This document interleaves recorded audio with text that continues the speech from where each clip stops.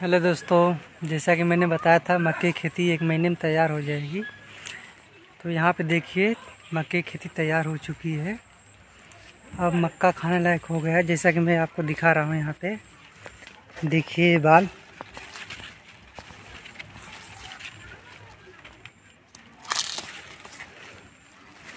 ये बाल देखिए। खाने लायक हो गया है, जैसा कि मैंने आपको बताया था।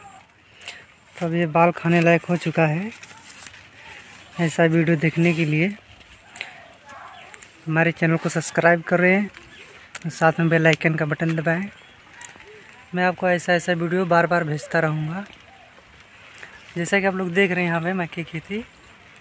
यहाँ पे बारिश हो, चालू हो चुकी है।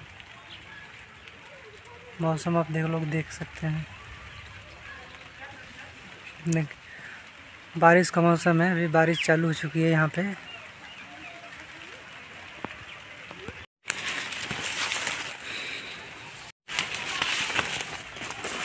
जैसा कि आप लोग देख रहे हैं हम मक्का ही मक्का है।